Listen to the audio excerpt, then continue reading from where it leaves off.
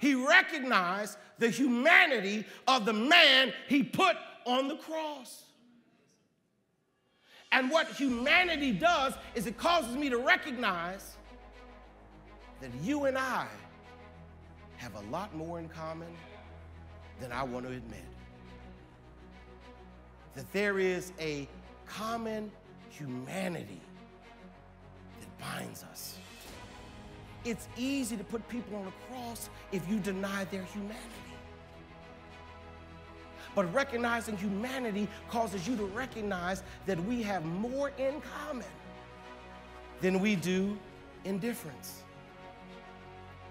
And what the church, the body of God needs, Christ needs, are more people who, rather than drawing lines in the sand, draw circles of commonality. Can I say that again? That rather than drawing a line in the sand, here's you, here's me, let's draw a circle of commonality and recognize that our humanity binds us together.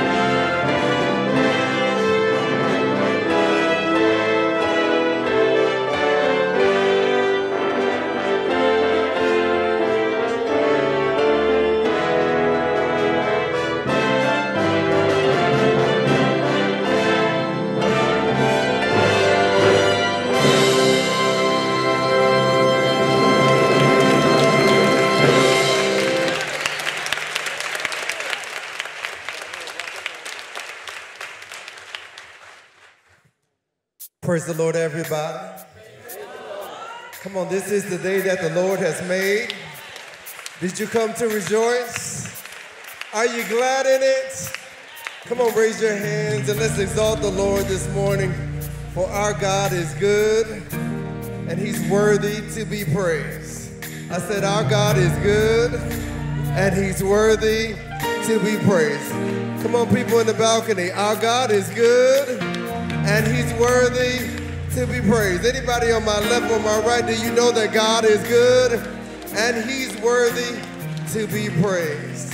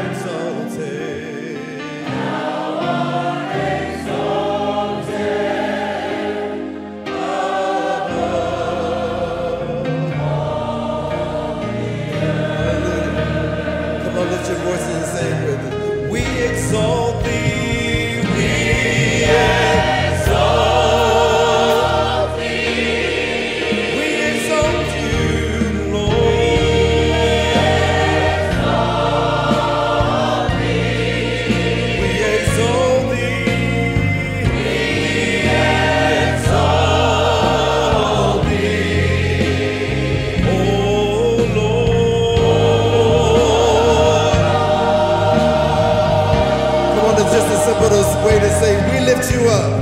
We exalt thee. Come on, let's lift him high in this place. We exalt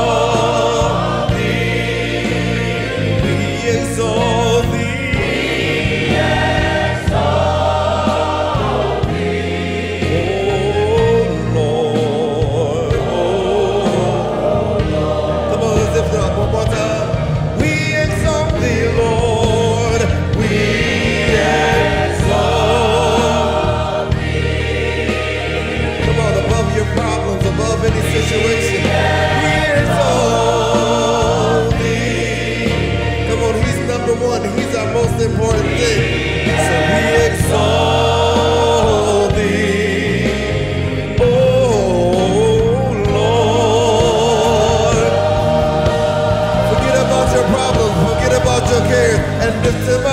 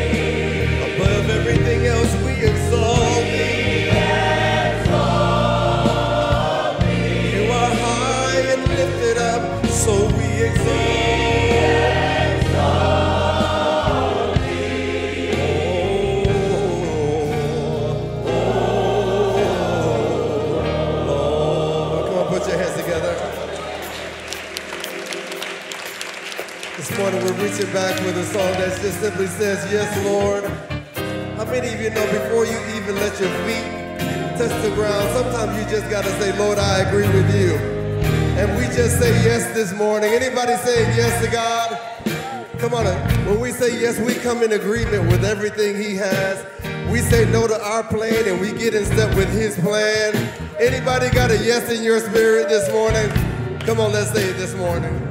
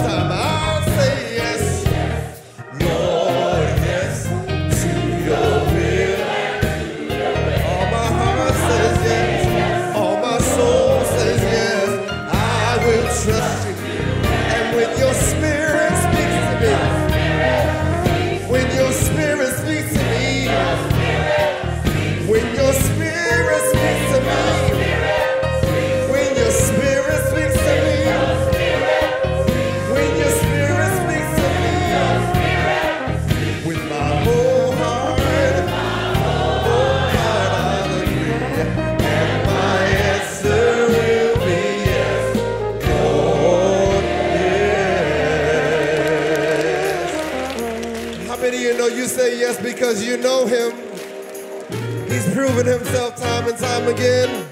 And you can trust that God got your back. Anybody know that this morning? Come on, let's say it this morning. Yes, I know Jesus for myself.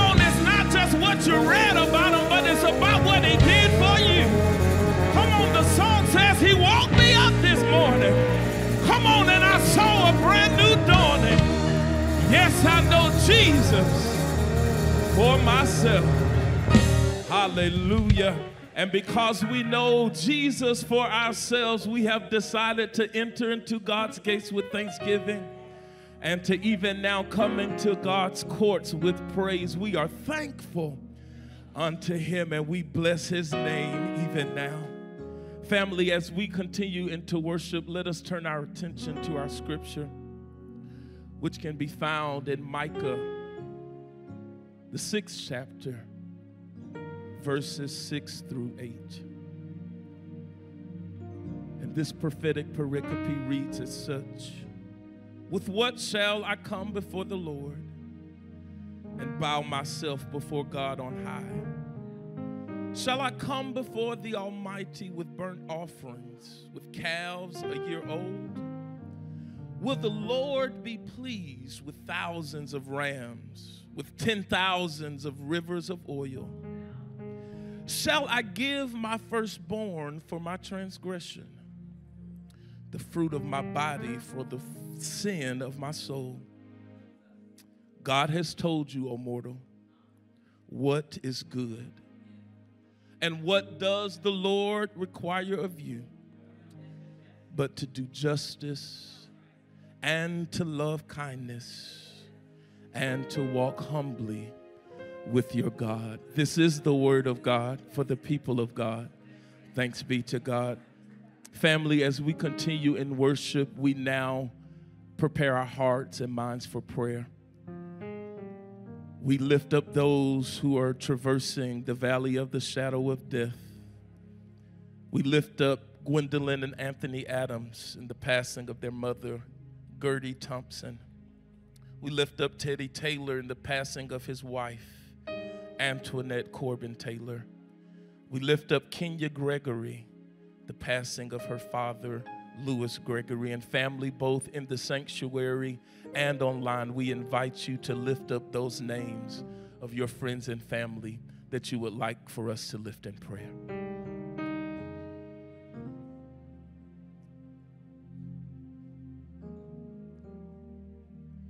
Let us pray.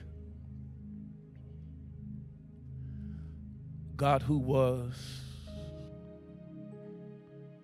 the Almighty God who is, and to the eternal God who always will be. It is to you that we come with bowed heads and humbled hearts, full of gratitude.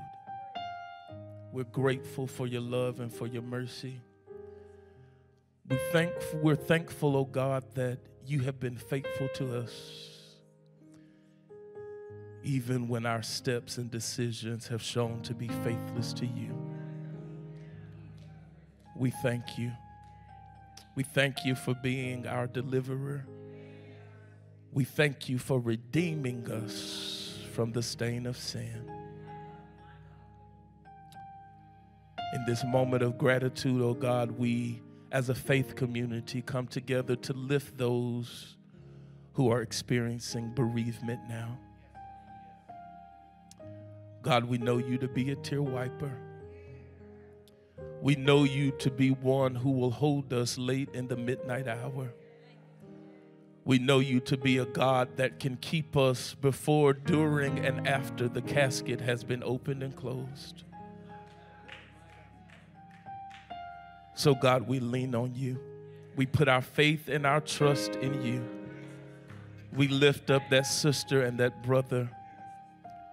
We ask, God, that you would give them the peace, only peace that you can give that surpasses all understanding, that surpasses all misunderstandings, that even surpasses our unanswered questions. Thank you for that peace. And God, now as we continue into this worship service, our prayer is simple this morning God, have your way. Spirit of the living God, fall fresh on us. Bless your manservant now. Strengthen him now. We thank you for clarity of speech and thought as he delivers your word to your people. Be with us now and forever. It's in Jesus' name that we pray and give thanks. Every heart and mouth said, Amen. Family, as we continue into worship, we ask that you would lift your voices and your hearts as we join with Trinity with the hymn of rejoicing. Lift him up.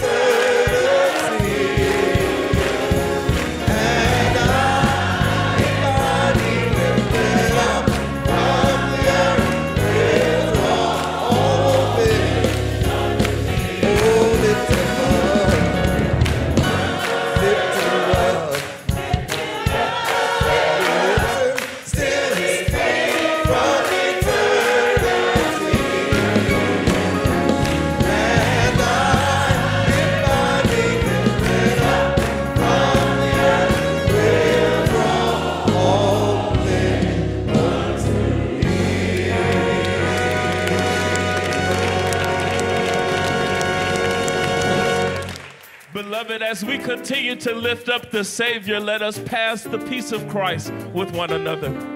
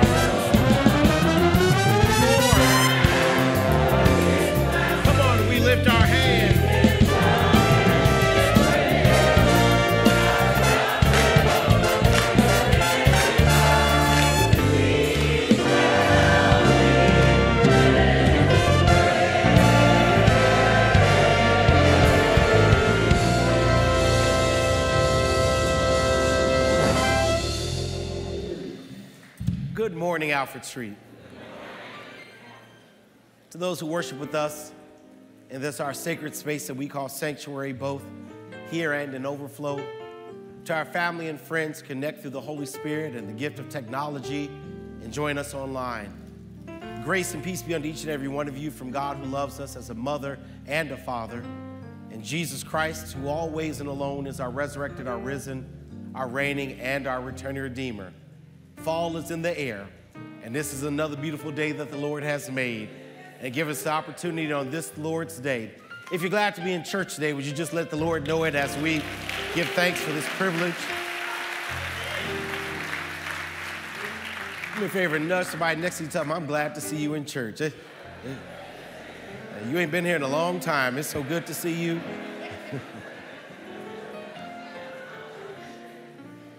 Last week, we found out that the Apostle Paul believed that as long as you believe that Jesus Christ died and rose again, that faith can guide you through any situation of life. If Christ can die and rise again, you know that death is not the end. You know that God is able to do all things. You know that looks bad on Friday can look a whole lot better by Sunday. That if you trust God, that God will always work things out. Somebody today, that's why you need to share in the breaking of bread and cup with us, because it is our reminder that we believe Christ died and rose again. We celebrate an open communion at Alfred Street, which means as long as you believe that Christ died and rose, we invite you to this moment, regardless of denomination and background. Prayerfully, when you came in, you received the elements of the Lord's Supper. If you did not, just wave a hand. There are deacons who are glad to serve you. As they're doing so, we invite our online family to join us by also taking hold of bread and cup, whatever you would use to symbolize the body and blood of Jesus, that together you might join in this sacred moment with us as we make our open confession that Christ died and rose again.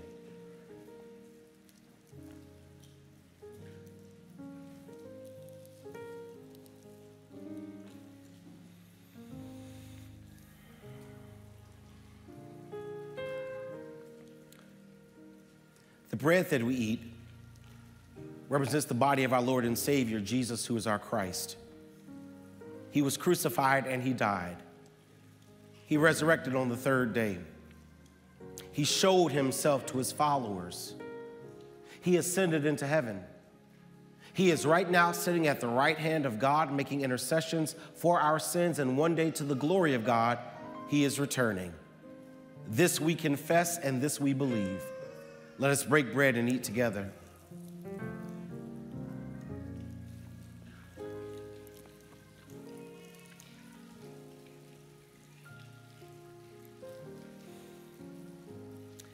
In this cup is the memorial of the blood shed on the cross of Calvary, the blood which cleanses us of our sins. In it is the offer of forgiveness that God extends to us and then commands that we extend to one another. If it is your intent to hold a grudge, put the cup down. If you're determined not to forgive someone who's not even asked for forgiveness, put the cup down. But in this, we make a commitment to offer to each other what God has offered to us. Let us drink together.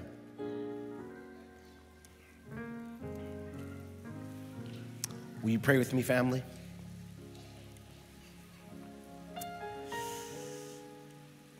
God, we receive in faith what you offer in grace.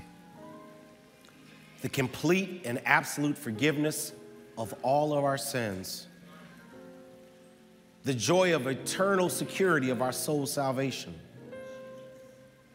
the precious gift of the Holy Spirit to dwell within our hearts and minds, to lead us into a life that is pleasing in your sight. And the commandment we have now that we've experienced this love to share it with others as we make more disciples. God, you've loved us. Teach us to love one another. You have forgiven us. May we seek to forgive each other. This we ask in the name of Jesus, our King and our coming Christ, our Messiah and our Lord. In his name we do pray. Amen. Families, we gather together today as we remember those who are bereaved to lift up those who struggle among us in prayer. I'm asking that you remember the family of Deacon Oliver Hutchinson. Deacon Hutchinson finished his battle with cancer on yesterday and now rest in glory. We remember his wife Kathy, his family, and our church. For those that are old school Alfred Street, you know that Hutch was one of the most laughable and enjoyable deacons you ever want to be around. He knew a whole lot more than scripture. and he will be missed. Today, we welcome the presence of God by beginning to welcome God's presence in our guests. We fully believe in Alfred Street that the Bible's right, that you ought to be careful how you treat new faces, because God may have just sent an angel that you're unaware of. There's some angels in Alfred Street today. We call you guests. If you're a guest of our church family and you don't mind being recognized, would you just wave a hand in the air and allow us to welcome you? Alfred Street, help me thank God for all the hands that are raised today. Welcome.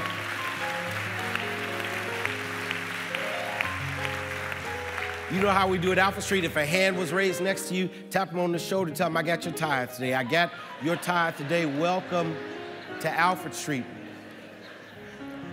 God's been good to us. There's some folk that know it even better because you're celebrating a birthday. If you have a recent birthday, God has blessed you with another year of life, and you know that it is of the Lord's mercies you are not consumed. I'm gonna ask all of our birthdays to stand, and Alfred Street, help me celebrate the gift of life in this place. All of our birthdays. Amen. Amen. Happy birthday. We celebrate God's grace on your life and pray that you are excited to be in worship today. God's in this place through the gift of love. There's no greater gift than love, especially that witness of spouses that are celebrating another year of marriage.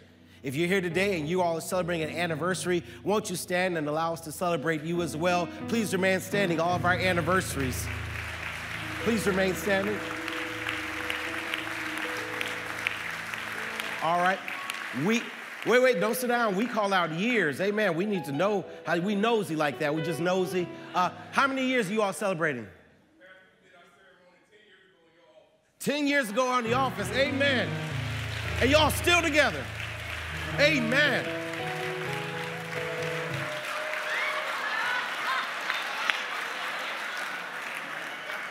Did you see what he just did? Man, I'm gonna pray for you in Jesus' name. Amen. Amen. I, I know I'm gonna pray for your wife because I know you got your hands full with that Omega man. May God's richest blessings be upon your life in Jesus' name. Amen. All the way in the back here. How many years you all celebrating? All the way in the back. How many? Two. Congratulations. Amen. My sister, how many y'all got together? 31. Congratulations. And how many of you all celebrating right here? One.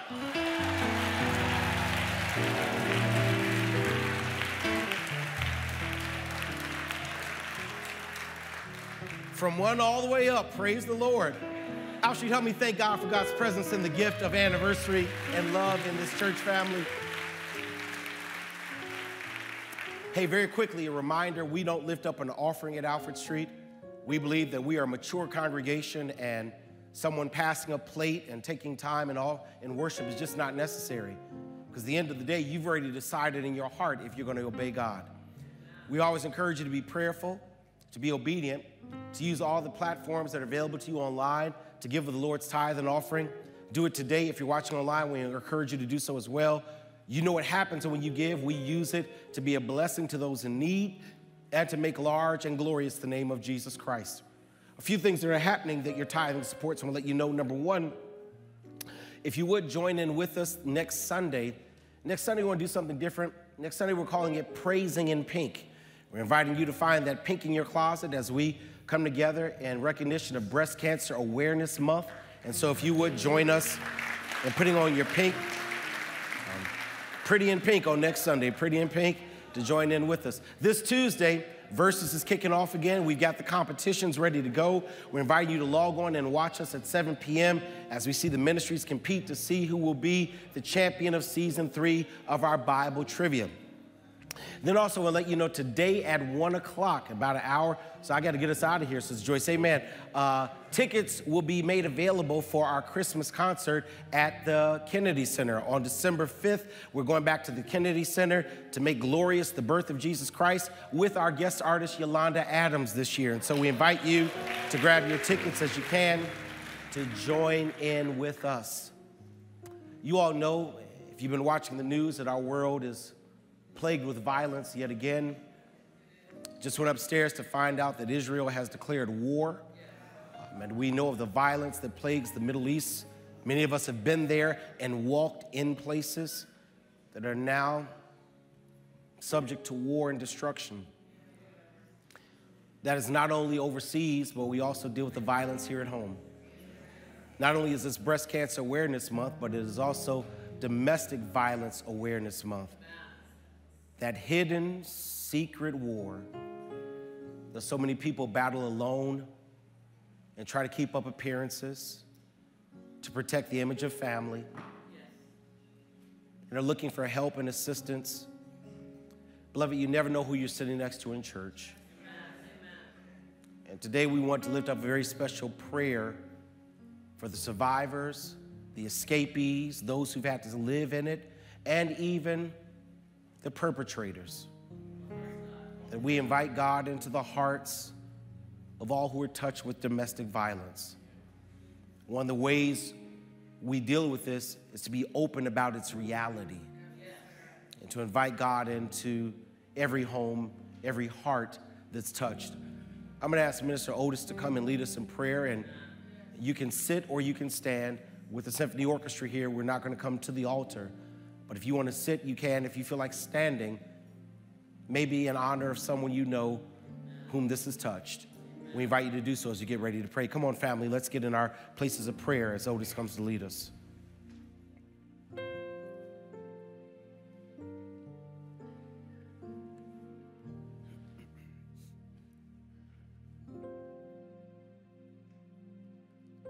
Whether standing, sitting, or kneeling. Let us pray. God of boundless love, God who is ever caring, ever strong, and ever present, it is to you that we pray this morning. First, we thank you for your grace and the many ways it is manifested in our lives. Thank you for life, health, and strength truthfully, circumstances may not be ideal in our lives, But our testimony today is that you've still been good, even on our worst day. And you've still been a keeper. So we say thank you. This morning, we gather as a faith community to pray for family, friends, and for some self. We pray for all women, men, and children impacted by domestic violence. We lament. We hurt with all of those who face abuse, mentally, physically, verbally, and emotionally, too often caused by those whom they've loved and trusted.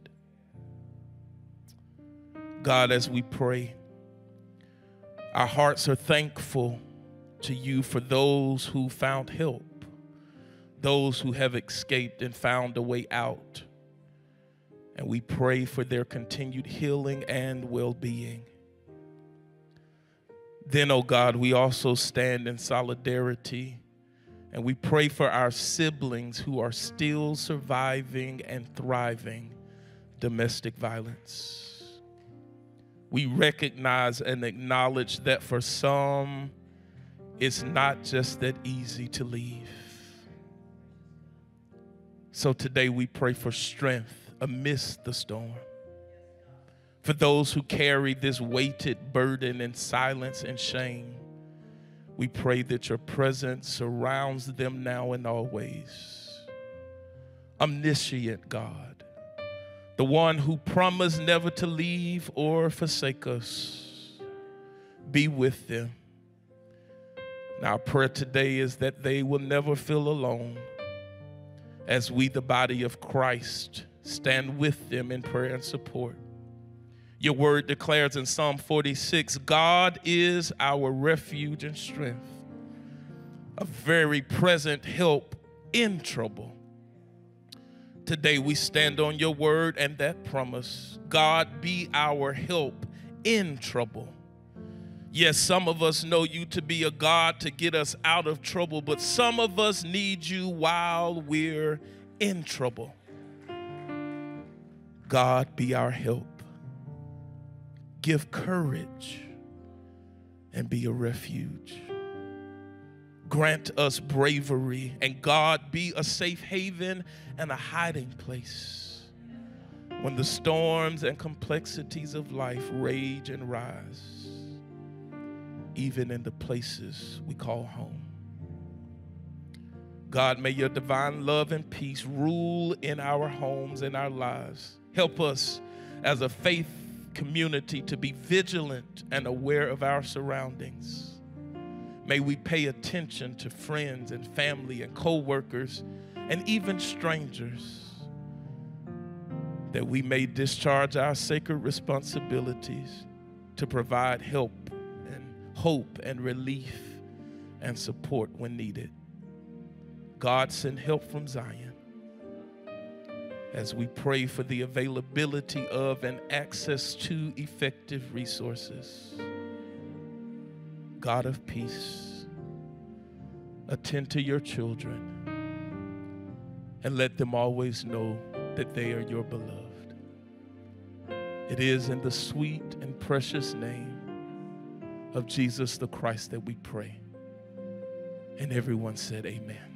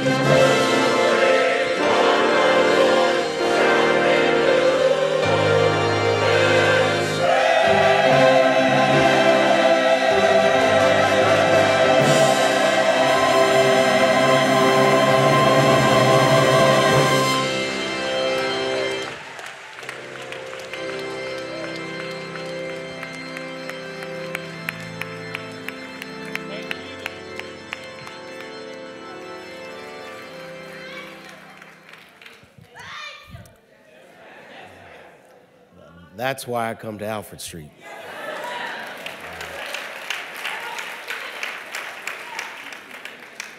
How I enjoy the songs that connect themselves to Scripture. And I want to thank Trinity and the Sanctified Symphony Orchestra for reminding us that they that wait on the Lord shall renew their strength. Kendall, if you can increase the volume in the monitors, I struggle with voice a little bit. I had to preach yesterday in Houston and need as much help as I can get this morning. Pray with me, family. God, we're grateful for another day and the blessing of the gift of your word, the lamp unto our feet and the light unto our path. We come today, O oh God, surrendering ourselves like clay in the potter's hand. Lord, if there be anything that was shaped in us that's not according to your will, May your word work it out right now. This we ask in the name of Jesus, the incarnate word. In his sake, we do pray. Amen. Amen. For the past few weekends, not only have we been caught up in the excitement of celebrating our 15 years together as pastor and people, but we've taken some time to sermonically study on these Sundays what arguably are some of my favorite scriptures. I've been attempting in this series of Pastor's Picks to share with you some of the scriptures that have helped and held my life and my ministry together in times of crisis and confusion and contention. And not just to be selfish, but in hopes that the scriptures will do the same thing for you that they've done for me. We started this journey by walking in those spaces and places where all of us land where we're frustrated and it feels like God has forgotten us. It's there that we hear the words that were just sung by the choir They that wait on the Lord shall renew their strength.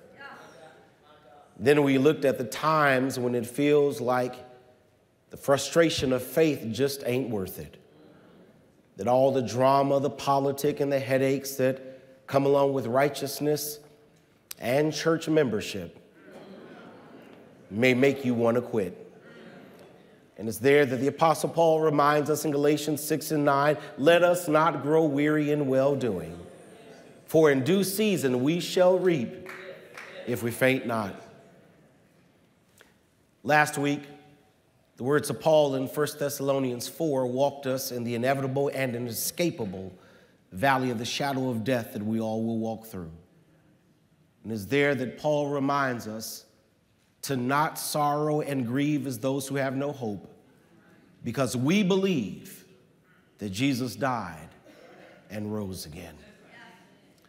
Today, as we get into part four of this pastor's pick, I want to share with you scripture that was instrumental in my maturation of ministry. Leslie, this is not a scripture that held me together, it's one that tore me apart. It's one that helped me by changing me. You find it recorded in all three synoptic gospels. You'll find it in Matthew 27 and in Luke 23. But today, as you stand, I would that you hear the reading of Matthew, Mark 15, beginning in verse 33, as Mark shares with us the same account that we read both in Matthew and in Luke. Matthew chapter 15, beginning in verse 33. Wonder, Mark, excuse me, thank you, Mark 15. I don't know why I want to preach Matthew. Mark 15, beginning in verse 33. I want to read out the New International Version and know that you'll be able to keep along. At noon, darkness came over the whole land until three in the afternoon. And at three in the afternoon, Jesus cried out in a loud voice, Eloi, Eloi, Lema Sabachthani, which means, My God, my God, why have you forsaken me? When some of those standing near heard this, they said, Listen, he's calling Elijah. Someone ran, filled a sponge with wine vinegar, and put it on a staff and offered it to Jesus to drink. Now leave him alone. Let's see if Elijah comes to take him down, they said. And with a loud cry, Jesus breathed his last.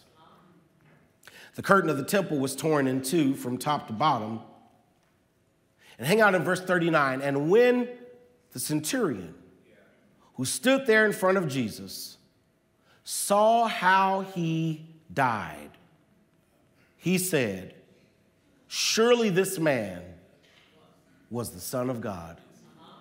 When the centurion who stood there in front of Jesus saw how Jesus died, he said, Surely this man was the Son of God. You may be seated. I just want to preach at the cross. At the cross. Anyone who knows me and has ever spent time with me has probably heard me fondly remember and openly reminisce on my formative years growing up in the Lilydale Progressive Missionary Baptist Church, 10706 South Michigan on the south side of Chicago. I am a product of the Lilydale Progressive Missionary Baptist Church. In 1972, I was birthed into Lilydale Progressive Missionary Baptist Church. In 1974, I was dedicated at the altar of Lilydale Progressive Missionary Baptist Church.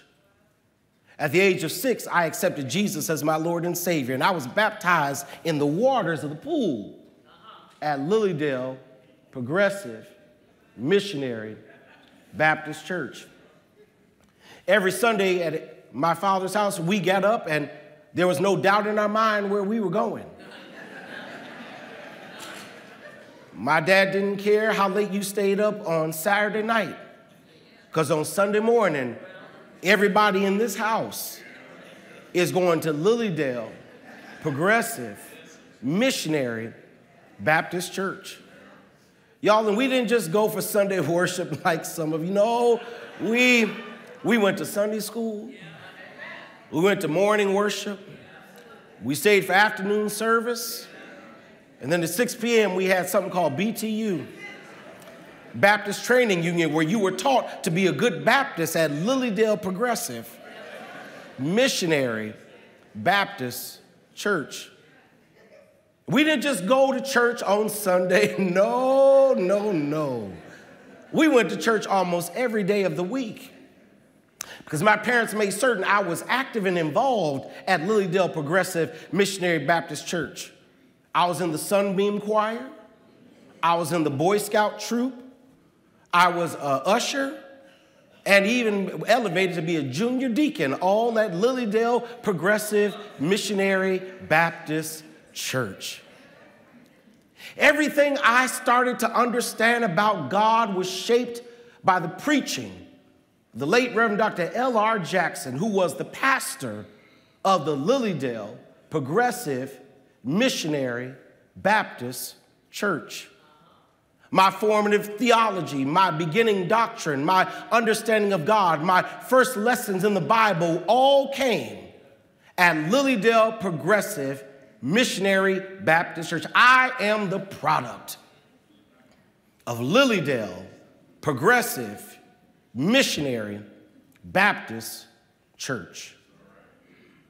And Earl, every now and then I reflect on my years at Lilydale Progressive Missionary Baptist Church, and I wonder why we called it progressive. Because there was nothing progressive about Lilydale Progressive Missionary Baptist Church. There was no come as you are.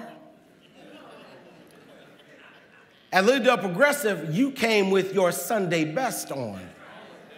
And if not, the ushers who were armed would turn you away at the door. At Lilydale Progressive Missionary Baptist Church, guests didn't just wave a hand. No, no. If you were a guest at Lilydale Progressive Missionary Baptist Church, you had to stand. Tell people your name, the church you went to, and to make sure you weren't lying, you better know the pastor. And if you didn't have a church, you better make one up because the last thing you wanted to do was stand up and not have a church to name. At Lilydale Progressive Missionary Baptist Church, if you were a teenage girl and you got pregnant, you not only had to step out of the choir, you had to stand in front of the church and confess your sins. Never saw the brothers stand, but the girls always had to stand. At Lilydale Progressive Missionary Baptist Church, you didn't just sit and worship. Over on, on, on the side here, there's a bench that didn't run parallel to all the others. It, it ran perpendicular, and it was called the mourner's bench. You know what the mourner's bench was? It's where your mama and your grandmama made you sit when they realized you were a sinner and you needed to receive Jesus Christ as your Lord and Savior. And so you sit on that mourner's bench, and everybody in church would look at you and knew you were a sinner. Surrender part of the reason I got saved because I wanted to get off.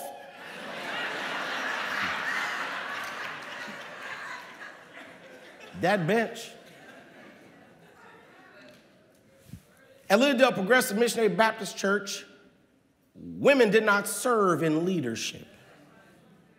Deacons were exclusively men never ordained a woman as a deacon at Lilydale Progressive Missionary Baptist Church.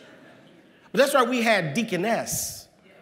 Deaconess were the wives of the deacons, and they helped prepare the communion, and they sat behind the mother's board on the right, and the deacon sat down front on the left. That, that was progressive. At Lilydale Progressive Missionary Baptist Church, women did not preach, they weren't ordained. We didn't believe that women were called of God to declare God's holy word. I'll never forget one Sunday, a visiting church came and an evangelist, a preacher from the other church was a woman, and she got up to give remarks on behalf of the pastor, and she had the audacity to walk to the pulpit. And y'all would have thought Jesus came and we missed it because all hell broke loose when she grabbed the microphone at Lilydale Progressive Missionary Baptist Church. Queer? There's a queer presence at Lilydale, but that's not the word we were using. We were raised with language that I'm ashamed to admit we used. There were gay men at Lilydale Progressive, but the only safe place for them was in the choir and then in the closet. I sometimes wonder how we got the name Lilydale Progressive Missionary Baptist Church. And then I finally figured it out. We got our name the same way most Baptist churches get their name after a fight or a split. When a Baptist church splits, the group who lost or got voted out or left, they tend to leave and they're petty.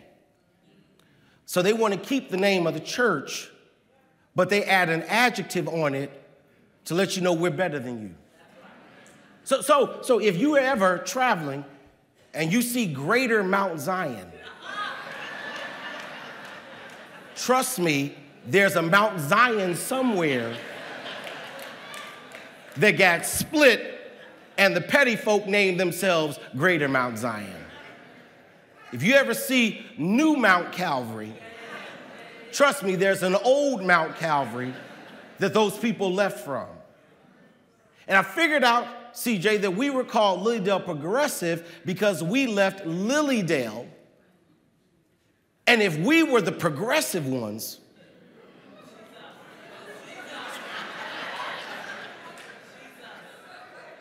I shudder to think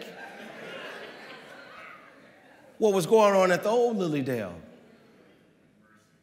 I am the product of Lilydale Progressive Missionary Baptist Church, and I was raised with a theology that was anything but progressive. And the scary part, Dr. Joyce, I had all the scriptures needed to back it. I knew women didn't preach because Paul said in 1 Corinthians 14 that women ought to keep silent in the church.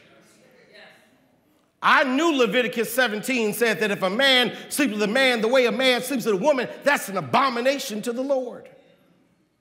It was drilled in us that Deuteronomy 21 declared that fornicators are to be stoned. I knew women didn't serve in leadership because 1 Timothy chapter 2 said that women should have no authority over men. Anthony, I was raised that Sodom and Gomorrah was destroyed because the men were gay. And y'all, every first Sunday at a good Baptist church is Communion Sunday. You didn't have communion like we did, you started communion by reading the Baptist covenant that was printed on the wall over there. Because you couldn't take communion until you went into covenant with them words with some old school saints, having been led as we believe to receive the Lord Jesus Christ as our Savior and on the profession of our faith, we do now in the presence of God, angels, and those assembled enter joyfully and willfully into covenant with one another. We engage, therefore, by the aid of the Holy Spirit to walk circumspectly in the world and to abstain from the sale and use of intoxicating drink as a beverage.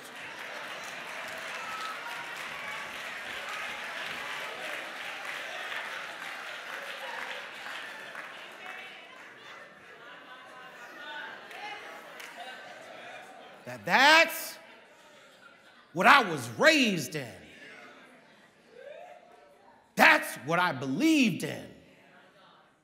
That's what I subscribed to. That's what I was taught. That's what I practiced. And now here I am.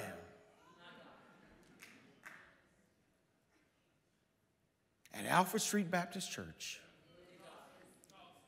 trying to be a steward of the 220 year history of this church. And my desire is to erase all gender inequality. My desire is to level the playing field of leadership for both men and women. My desire is to tear down this hypocritical hierarchy of sin where the church says that sin is worse than this sin. My desire is to create an atmosphere, an environment where queer is not embarrassed, but embraced with godly love and human dignity. A place where we realize we are not agents of God's wrath, we are messengers of God's mercy. And the focus of my preaching is not to condemn and put people in hell, but to show people the way to God by helping them experience and share the transformative love of Jesus Christ. I'm not where I was. And let me be honest with you, since you go to Alfred Street, I've paid the price for it. I've been banned from preaching in certain denominational circles. Colleagues, friends, and even some mentors have rejected and criticized me. Conservative preachers misquote and take bits and bites of sermons and put them online and call me a heretic and blasphemous. I have a mentor who once said to me, Howard, how did you stray so far from the way you were raised? Inherent in that question is the understanding that doctrine by nature is conservative. That the pictures and portraits of God we paint as children very rarely change that it is easier to lock God in a box than it is to be open to experience something that causes you to change what you thought you knew about God. In a real sense, y'all, religion conditions us to invest more in the certainties of God than to embrace the mysteries of God. Let me say that again. It is easier to invest in what you think you are absolutely certain about God than it is to be open and embrace the mysteries of God. I, I have a pastor mentor who said to me, Howard, if it's new, it can't be true. And that's the way I was raised. That's what I believed. That's what I was taught. That's what I learned at Lilydale Progressive Missionary Baptist Church. Until the moment I stood in the shoes of this centurion who Matthew, Luke, and Mark introduce us to at the cross of Jesus. Let me tell you a little bit about centurions so we can get the meat of the message. Centurions were ranking officials in Roman army who had command of at least 100 soldiers. Becoming a centurion was really one of the highest goals of anyone in the Roman army, not simply because of prestige and privilege, but because Roman centurions made 17 times more than the average foot soldier. You didn't just become a centurion, it took 15 to 18 years rising through the ranks of enlisted men so that you could prove not only your efficiency and cap- capability as a leader, but even more, your loyalty to Rome. To become a centurion, you had to ascribe to everything Rome said. Centurions were not just commanders, they were modern day master sergeants because their role was not simply to command, their role was to train other soldiers to be loyal and faithful to Roman rule and Roman legislation. That you did not become a centurion until you believed it and made certain everyone underneath you believed the same thing. And this centurion we meet in the Synoptic Gospels he is in charge of the security patrol and the execution squad that handled crucifixions in Jerusalem. His job, y'all, was to carry out the Roman order of capital state endorsed execution for thieves and insurgent troublemakers. He had committed his entire life to crucifying thieves and troublemakers. And what they did on that Friday in crucifying two thieves and a troublemaker in the middle was something they had done hundreds of times without pause. Because everything in them, everything he'd been trained, everything he believed, everything he'd been indoctrinated with, told him that anyone Rome said goes on a cross deserves to die because they're nothing other than a thief and a troublemaker. And here is this centurion with everything he's believed and everything he's been taught and everything he's been trained in standing at the cross and saying words that could have cost him his life. This man was the Son of God. I want to make certain you catch that this is not something he should have said. Everything he'd been trained taught him different. Everything he had been taught in Roman public schools taught him different. Everything he had heard at Roman altars taught him different. Everything he had read in Roman sacred scriptures taught him differently. Everything he learned at Roman Progressive Missionary Baptist Church said you should never make that kind of statement. And yet here he is, opening his mouth and sharing what is absolutely contradictory to what his Sunday school teacher taught him. This man was the Son of God. Y'all, what made him change his perspective? What caused him to rethink everything he had been taught. What, caused him to stray so far from what he'd been raised in? What caused him to question Roman progressive missionary Baptist church doctrine?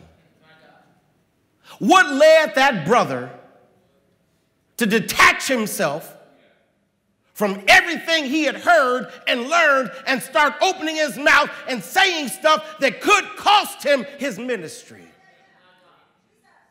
could cost him his reputation in Baptist circles, could cost him the name his father left him. What would cause someone to make a statement in contradiction to everything people taught you? The answer is simple. He stood at the cross. And at the cross, he saw some things that made him rethink everything he thought he knew. But, beloved, what did he see at the cross? Listen, my job is not to make you think what I think. But please come stand at the cross and think with me for a moment. Let me share with you what this soldier sees that changes him. And it's the same thing that ought to, if doesn't change you, at least challenge you. Can I tell you what he saw? Number one, he saw the suffering of Jesus.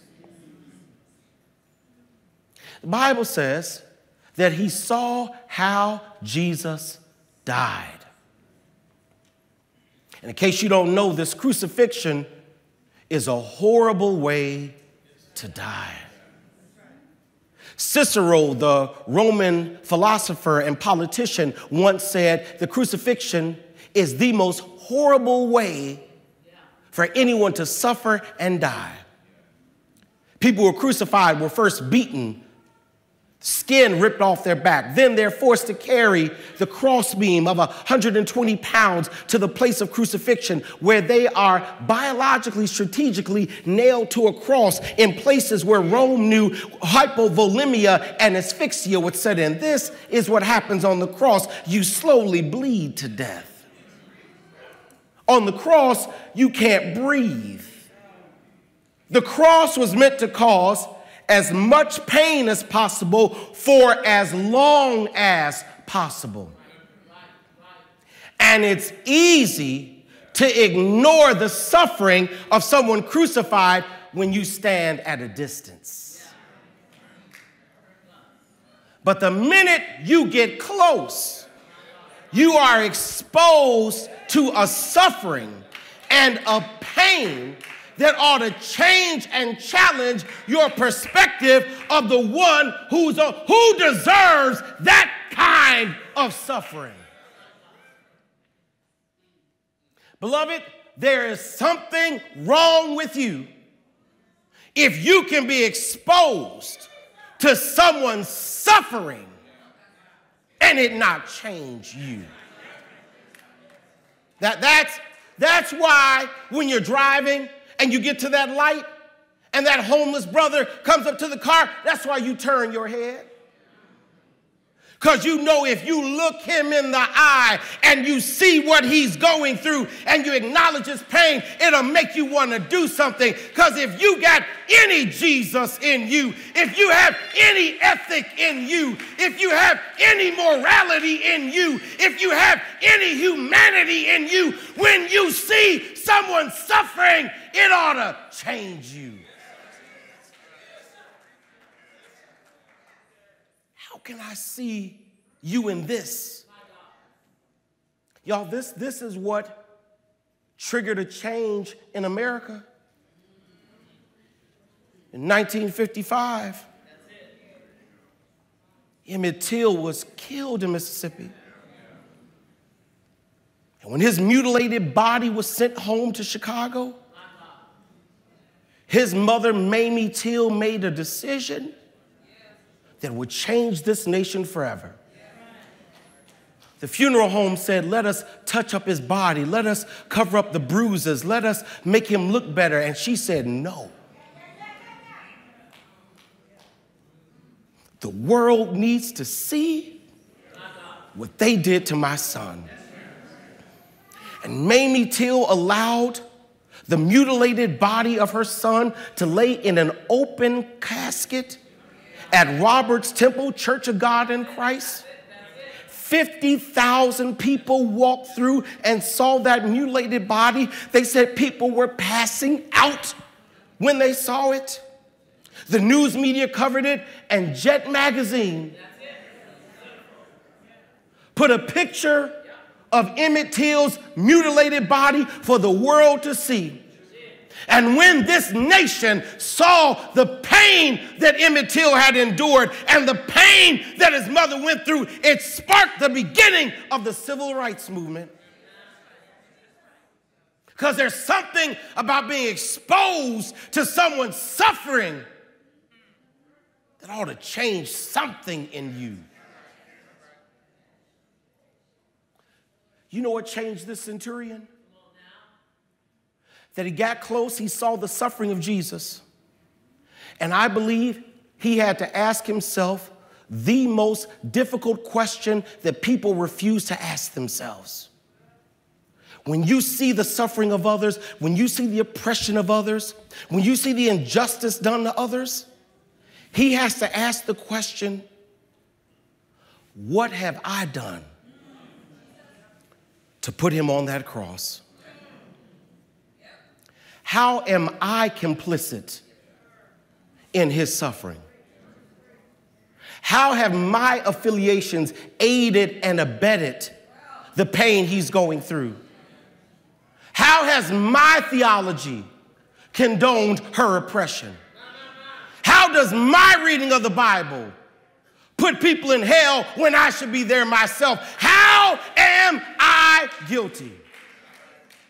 Beloved, if you don't walk away with anything else from this sermon, I want you to remember this question How has my privilege caused or come at the cost of someone else's suffering? How has my privilege caused or come at the cost of someone else's suffering? And as long as you stand distant from the cross of the suffering of people, you will never have to ask yourself that question. That, Kim, is the problem I have with the opposition to critical race theory. That's the problem I have with the ignorance of burning books that tell the truth about America's evil, racist slavery history. That's the problem I have with making it illegal to teach this generation about the suffering of slavery.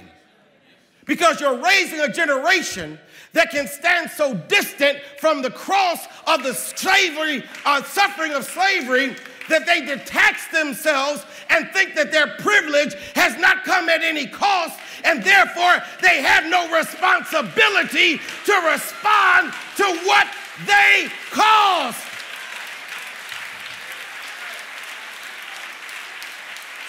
So you raise a generation who's so far removed and we can't show them the cross that they say things like, Well, I never enslaved anybody. They say things like, That was so long ago, why don't you just get over it? It allows Texas officials to rename slavery as involuntary relocation. It allows ignorance to get on social media and say slavery benefited black. Let me tell you something. Slavery didn't benefit black people. It cost us millions of lives to which you are now walking in the privilege of my ancestors' blood and my ancestors' death and my ancestors' labor and my ancestors' suffering and my ancestors' violence. And now you're privileged, but because you stand far from the cross,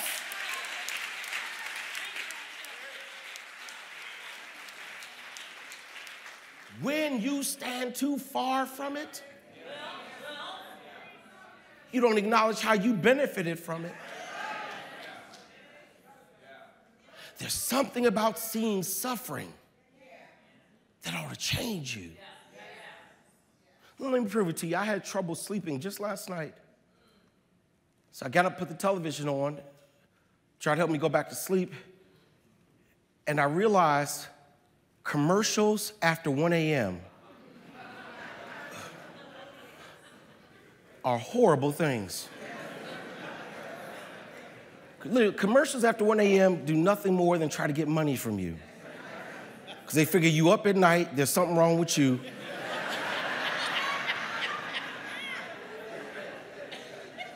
Yo, let me tell you a commercial that I saw last night that deeply disturbed me the American Society for the Protection of Cruelty to Animals. You already know it. That is not fair at 1 a.m. You're showing me pictures of emaciated, starving animals that people have been cruel to and beaten, and they're shaking. Give that dog something to eat, please. But there's a philosophy behind it. Because the ASPCA knows if we show you pictures of suffering animals, something inside you ought to say, No dog should suffer like that. And you will reach in your pocket and you will give because you saw suffering. There's something wrong with you if you can see the suffering and it not make you want to do something. There's something wrong with the people who can see suffering and not make a change. There's something wrong with a nation that can watch suffering. And there's something wrong with you watching George Floyd murdered on the streets and come back telling me white lives matter too. There's something wrong if you can see tiny caskets after a school shooting and you not reaching your pocket to change gun reform, there's something wrong. If you can see suicide rates increase with queer and trans and you still want to sanctify homophobia in the church, there's something wrong. If you can watch the pain of a raped woman and not give her access to adequate health care, there's something wrong with you.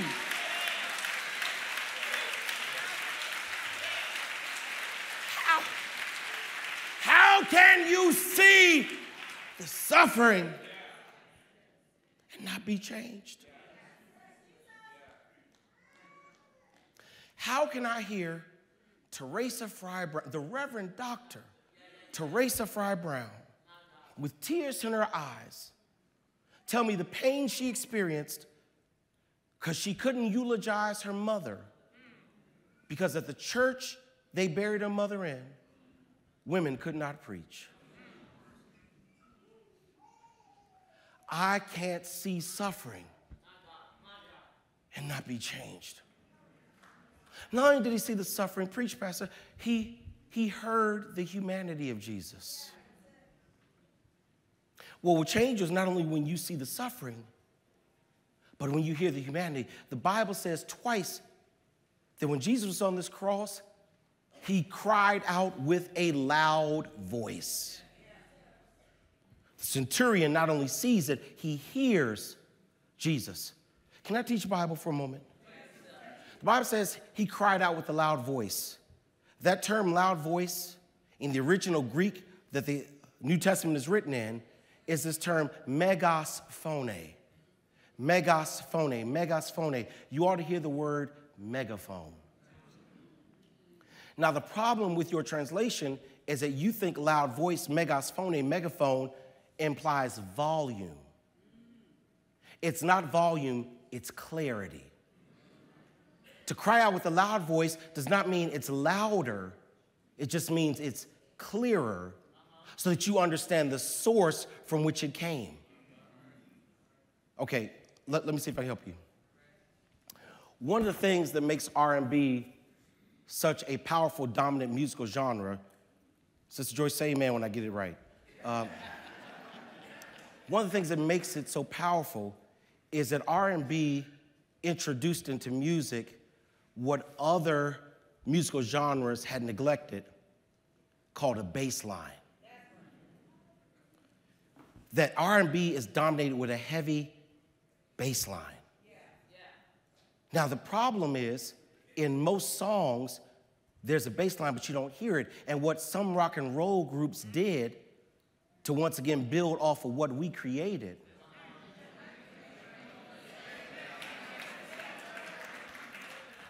was they adopted the bass line. Let me give you a prime example. There's a group that adopted the bass line called Queen. You remember Queen? We will, we will rock you. We are the champions. In 1980, they released a song with a bass line that was popular.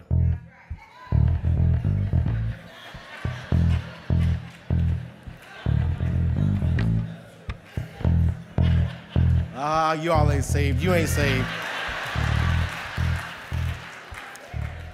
You didn't know the words to lift him up, but you.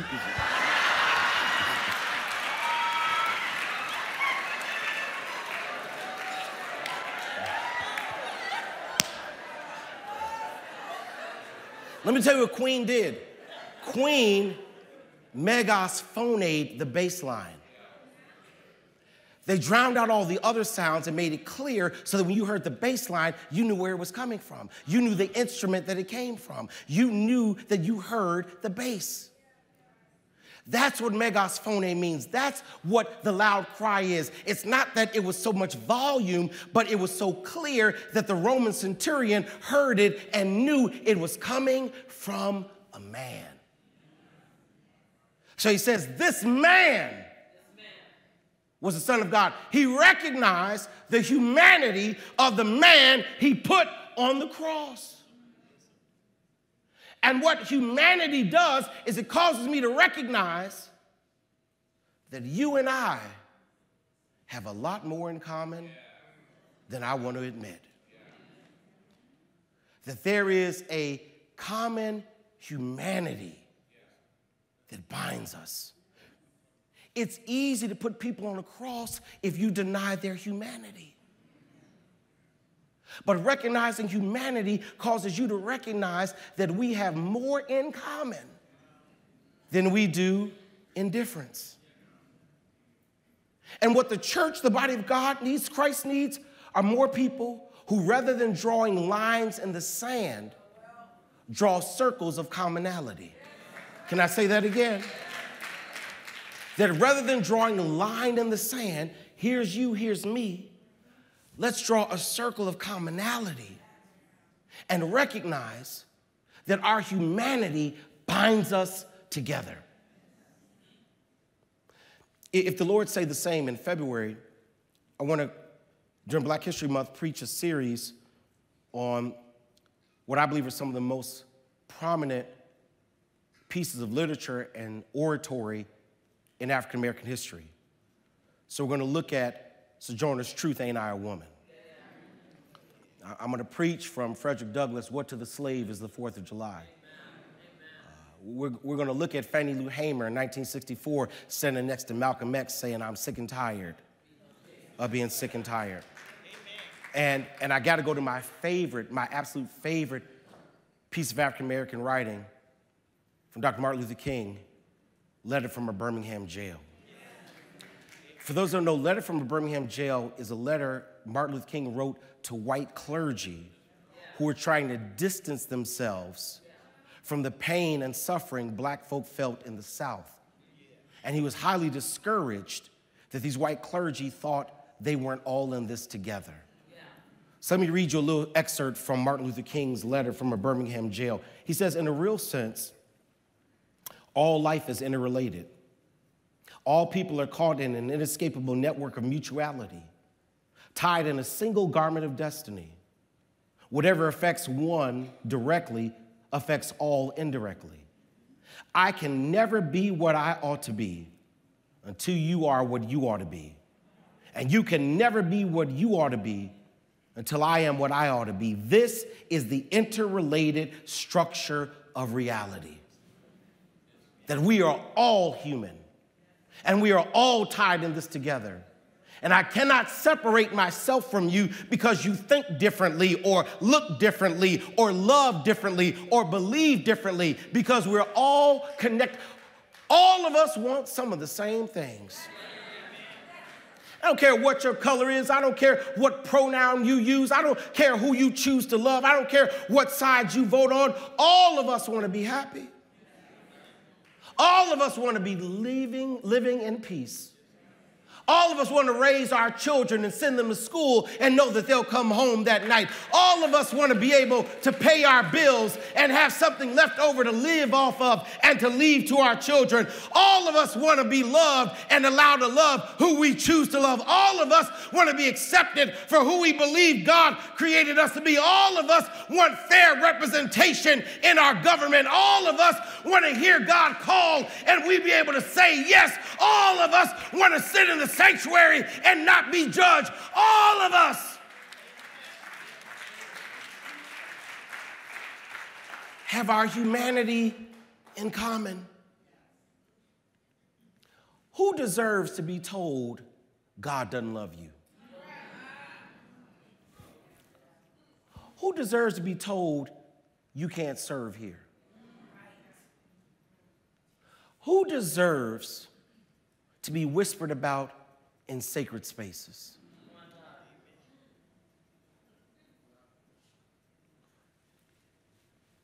The failure to change comes when we fail to see our common humanity. When we distance ourselves from the suffering our privilege has caused.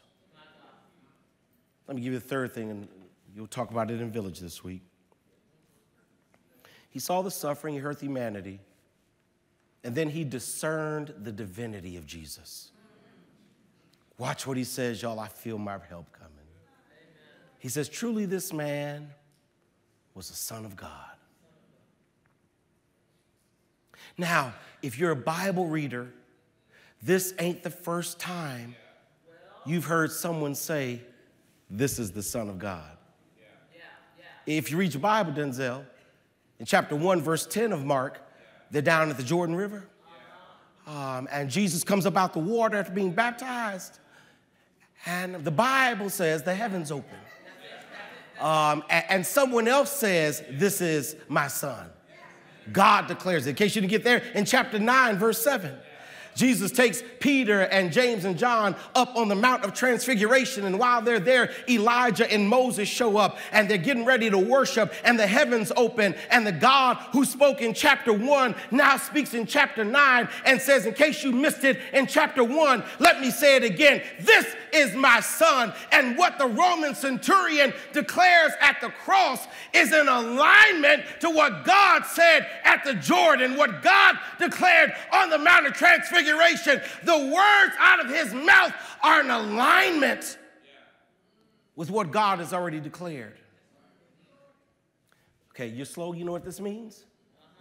The centurion saw Jesus the same way God did. You know what will cause you to change? When you recognize how God sees whoever you call them.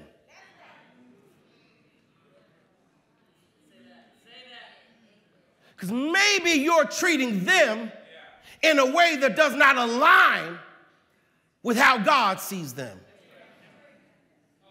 How does God see your them? Well, well, in case you're struggling and you're trying to turn to Leviticus this or Romans that or Exodus this or Deuteronomy that. If you're trying to find your scripture, let me give you the simple answer. You want to know how God sees them? The same way God sees you. The same way you're a sinner saved by grace. The same way mercy woke you up this morning. The same way Jesus died on the cross for you, the same way God made a way for you when you were not worthy. It's how God sees your them. And I know you're not gonna like this, but if grace can find your rusty behind, if mercy can overlook your mistakes, if the love of God could change your life, if the church family helped you get back on your feet, then surely the same grace, the same mercy, the same love should be offered to them. Zena, the world would change if when we looked at people, before we saw whatever their them is, we saw God. We're all made in the image of God. And that does not need your approval or affirmation. How would I treat you if I saw God in you first? How would I treat you if I knew that my privilege caused you pain? How would I treat you if I recognized that we have more in common than we do in difference? How would I treat you if I saw God in you? Let me, let me get out of here. My, um, this was pressed on me the other day. dealing with Cooper. And just so you know, people always ask, Cooper's fine. He's glad his brother's gone.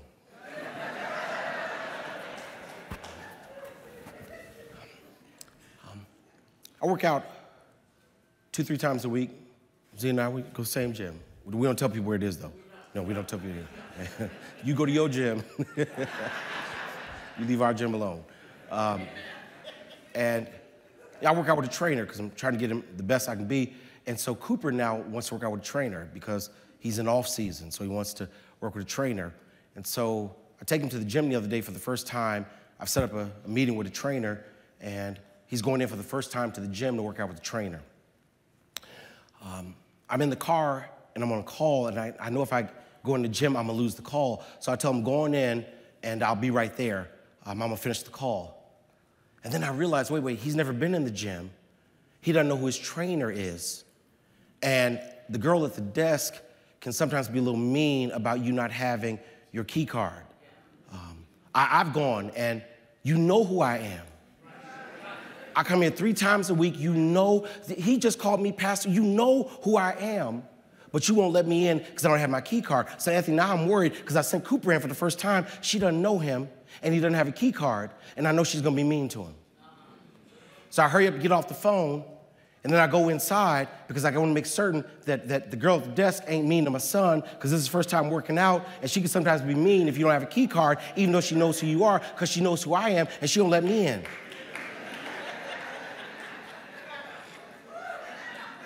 So I'm rushing in because I don't want her to be mean to my son. And I come in, and Cooper's not there in the reception area.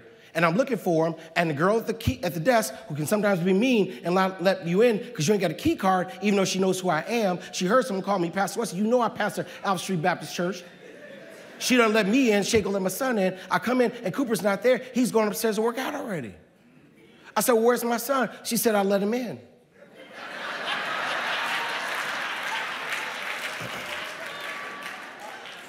I said, listen, you, you let Cooper is 6'1, black, got braided hair, and you let him in the gym. You didn't even ask for an ID card. You ask me for an ID card every time I come to this joint. You know daggone well I'm the pastor of Street Baptist Church, and you make me show an ID, and he's 6'1, got earrings on, got hair braided, and you let him in. You know what she said? I let him in because I looked at him and I saw he looked like you.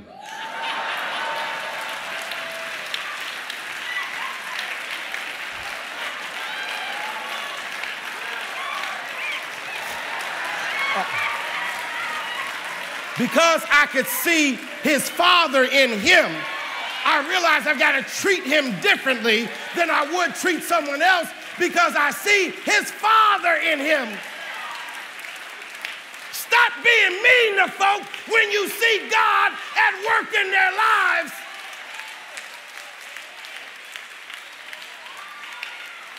Do me a favor, and nudge somebody, tell them I see God in you.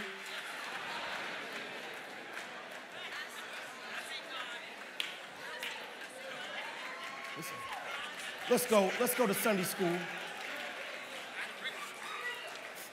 What changed me? I saw the suffering that my doctrine and my beliefs and my maleness had caused people. I heard humanity and realized we've got more in common. I began to see God at work in people. When you see the suffering, when you hear the humanity, when you discern the divinity, it will cause you to love. And the thing that's most difficult for people to accept about what I'm trying to do is that they don't understand love. So we're going to finish this series next week I'm going to invite you to another powerful passage. One that says, anyone who says they love God and have not loved their brother and sister is a liar. Come back next week if God graces us. We'll preach the subject, What's Love Got to Do with It? God, I thank you for bringing us to the cross where we can acknowledge the suffering where we can hear the humanity and where we can discern the divinity. God made that change and challenge us in how we treat those who come into our lives. This is our prayer in Jesus' name. Amen. Amen. Family, we're getting ready to leave this place. Two things. One, please don't forget, although we don't raise an offering, that doesn't mean we're not dependent upon it. We need you to help us to continue to make glorious the name of Jesus Christ, to do the missionary work God has called us to do. You know what happens when you give. Hungry bellies are blessed, children are encouraged and equipped to go to school. You know what we do. I'm asking you to be faithful. If you're here today and you desire to know more about how God sees you and what it means to belong to this place, you can either go online and fill out that form if you're watching us, or you can stop here at the altar on your way out and touch the shoulder of a deacon who'll be glad to welcome and receive you into this body of Christ. Let's leave now on the voices of Trinity as we get ready to go and change the world.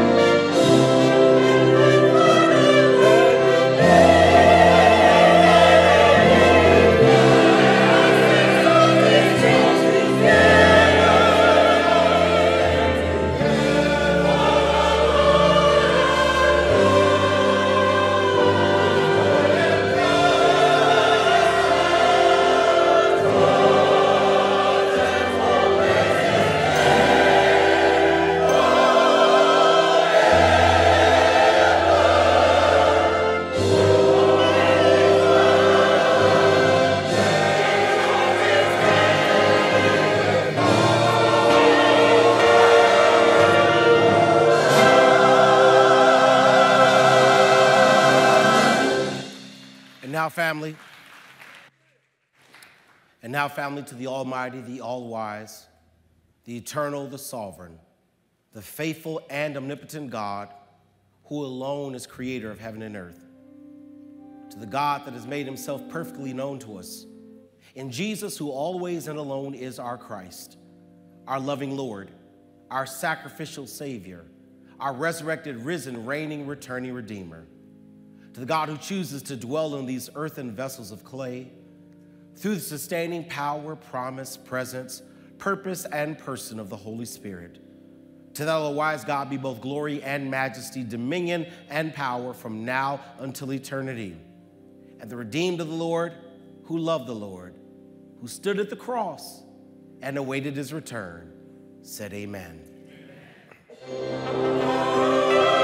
Amen.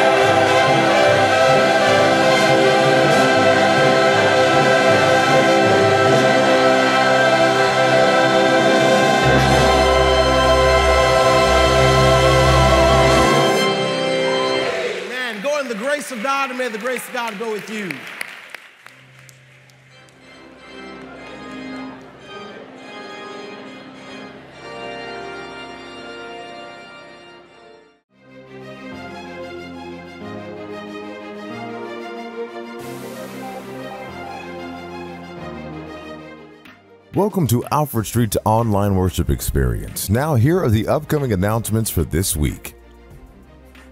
We know that these are difficult and challenging times. We invite you to stay connected by participating in our online worship services and remain faithful in your giving online via our Alfred Street website, ASBC app, and on our text messaging system. If you have any questions about giving, please feel free to email our finance department at finance at alfredstreet.org. If you're interested in becoming a member of the historic Alfred Street Baptist Church, please email deacons with an S at alfredstreet.org or complete the membership form on our website or on our ASBC app. October is Breast Cancer Awareness Month. Alfred Street would like everyone to wear pink every Sunday throughout the month of October. Join us as we empower women to share their survival testimonies and encourage women of color to get an annual breast exam. Remember to think pink. Alfred Street would also like to remind everyone that October is Domestic Violence Awareness Month. For nearly three decades, Domestic Violence Awareness Month has been observed nationally in the month of October as an opportunity to bring attention to the issue of domestic violence and its effect on victims, survivors, families, and our communities. Be sure to visit alfredstreet.org for additional information, phone numbers, and resources regarding domestic violence. Are you looking for an incredible opportunity to share your musical talents? If so, look no further. Alfred Street Sanctified Symphony Orchestra is thrilled to announce that they are recruiting talented musicians like you to join their harmonious family. They're calling for all musicians to join them every Friday evening from 7 p.m. to 9 p.m. Send an email to sanctifiedsymphony at alfredstreet.org if interested. They can't wait to welcome you into the Alfred Street Baptist Church Sanctified Symphony Orchestra. We invite everyone to tune in via YouTube on the next episode of Verses on Tuesday, October 10th at 7 p.m. Eastern Time. Verses is the Bible based trivia game show produced by Alfred Street Baptist Church. In this new exciting episode of Verses, we'll see our village team compete against our greeters and ushers. You don't want to miss it as these two teams battle it out with the ultimate goal of moving up in the rankings, all for the grand title of 2023 Versus Champion. Who will make it to the semifinals? You'll have to tune into our YouTube and Facebook Live page this Tuesday at 7 p.m. to find out who will be one step closer to winning the title. Hey Alfred Street, Versus is back in stock. Our Versus team has been working around the clock to create another batch of our popular Versus Bible based trivia card game, and they're now available for purchase. That's right, purchase your set of Versus cards today before we sell out again. Visit our website or ASBC app and be the first to get your hands on Versus, a Bible based trivia game by Alfred Street Baptist Church. Alfred Street family and friends, are you ready to say yes to no debt? If so, starting Thursday, October 12th through November 16th, you can register to participate in a six week course entitled Journey to Financial Freedom. The classes meet weekly and virtually from 7 to 9 p.m. Eastern Time. You'll learn how to manage your life as well as how to use your money to reach your financial goals. Email financialfreedom at alfredstreet.org for details calling all ASBC entrepreneurs. Join the Entrepreneurship Ministry as they celebrate the 20th anniversary of Cybersecurity Awareness Month with the presentation entitled Who's Who Cybersecurity Awareness for Entrepreneurs. All entrepreneurs are encouraged to register online and join us virtually via Zoom on Saturday, October 14th at 10 a.m. Eastern Time. You'll learn how to keep your business and family safe in the face of all of the cybersecurity challenges that are evolving daily. Be sure to register online now for the Saturday, October 14th session. You'll receive the Zoom info on the day of the event. Email entrepreneurship at alfredstreet.org for details. Alfred Street Baptist Church family, join us in welcoming the newly appointed Deacons Class of 2023 at our in-person and or live stream Deacons Ordination Worship Experience on Saturday, October 14th at 6 p.m. Eastern Time in the sanctuary at Alfred Street Baptist Church. Please come out and meet us in person as we congratulate our new deacons on the completion of their Alfred Street Baptist Church Deacons in Training program for the class of 2023. We look forward to seeing you there. Alfred Street Baptist Church In recognition of Domestic Violence Awareness Month, the Legal Resources and Beauty for Ashes Ministries present the 2023 Family and Domestic Violence Law Clinic. We invite everyone to register online and join us virtually via Zoom on Saturday, October 21st at 10 a.m. Eastern Time. If you want to know how the law can help you go from victim to survivor, or perhaps you're going through a divorce or child custody battle, then it's time to register online for this session. This is an opportunity to receive the answers to your domestic violence and family law questions from expert DMV attorneys. Register today for Saturday, October 21st to receive the Zoom info so you can participate. Email legalresources at alfredstreet.org for details or any questions. CLE credits are available for Virginia licensed attorneys calling all Alfred Street runners, walkers, and strollers. It's always great to be outside and back at it again. The Sports Ministry presents our annual Faith 5K and Christian Walk. We'll gather and depart from the George Washington Middle School in Alexandria on Saturday, October 21st at 7 a.m. Please visit the Alfred Street Baptist Church website to register today, and you'll also be able to purchase your t shirt and merchandise from the upcoming Faith 5K. All merch will be shipped directly to your location. Let's prepare to run, walk, and fellowship together. The Sports Ministry is excited to return for the annual Faith 5K and Christian Walk and look forward to seeing everyone there. Attention Alfred Street members only. Can you believe that we're approaching the end of the year? So you know what that means. Our world renowned music and worship arts ministry, under the executive direction of our own award winning director, Dr. Joyce Garrett, presents Do You Hear What I Hear? A Christmas celebration featuring four time Grammy and 16 time Stellar Award winning gospel and contemporary singer, songwriter, and author Yolanda Adams, returning as our artistic director and conductor for the 13th consecutive year, will be Mr. Theodore Thorpe III. This promises to be one of our greatest musical celebrations yet, featuring a plethora of local and national artists, as well as our own Alfred Street Celebration Choir. That's right, we're back with a live, in person musical experience at the John F. Kennedy Center for the Performing Arts Concert Hall in Washington, D.C. on Tuesday, December 5th at 8 p.m. Eastern Time. You don't want to miss this celebration. Tickets are available now. Today, Sunday, October 10th through October 21st for members of Alfred Street Baptist Church only. This event will surely sell out, so ASBC members, please, please purchase your tickets today before they go on sale to the general public. Prices range from $40 and up based on your seat preference. Please note that your ASBC membership will be verified. Members that cannot be verified will have their sales returned. Visit the Alfred Street Baptist Church website to get your tickets now. Attention all active Alfred Street members only. Please note that our next virtual Zoom Church Council meeting will be held on Wednesday, October 11th at 7 p.m. Eastern Time. Online registration is now open for this virtual Church Council meeting. However, you must be an active member of Alfred Street Baptist Church who has received the right hand of fellowship in order to participate virtually. The deadline to register is Tuesday, October 10th at 12 p.m. noon Eastern Time. Once you have registered, you will receive the Zoom link on Wednesday, October 11th, the same day of the meeting. Please remember to check your junk or spam folders for the Zoom link if you don't see it in your email inbox. Alfred Street Baptist Church, in conjunction with our Office of Christian Care and Counseling and Mental Health and the Sacred Sanctuary, present Diagnosed the Play, written by Mrs. Ayana Blake. ASBC Sanctuary Live in Person Experience, Saturday, October 21st at 7 p.m. Eastern Time, in person in the sanctuary at Alfred Street Baptist Church. Doors open at 6 p.m. Please be advised this production contains material of suicide, sexual assault, depression, and other references of mental health disorders that may act as triggers. Diagnosed is intended for mature audiences only.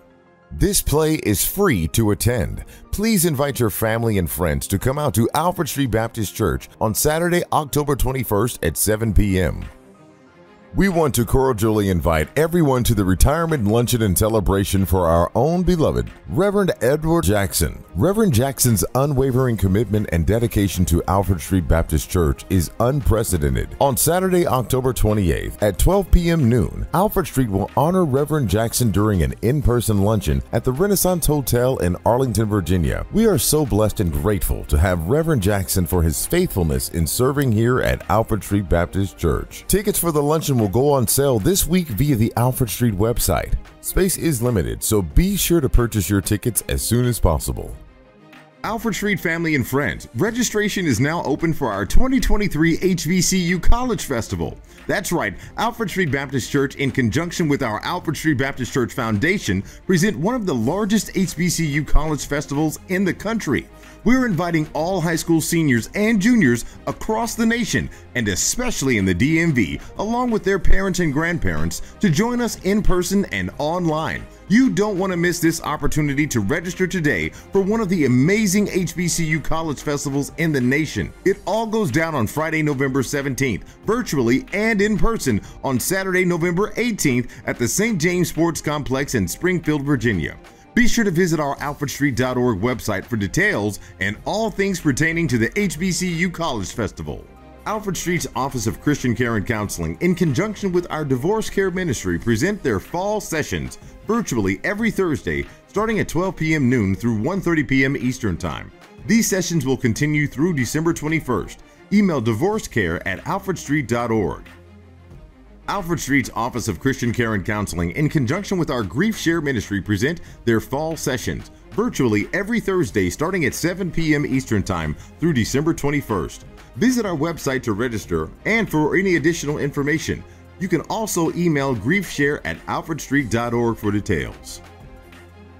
Our Faye Savage Gun tutorial ministry has a new home online. Communicate, learn, and stay informed all in one place. Visit our new webpage and check us out today at alfredstreet.org. Email tutorial at alfredstreet.org for details.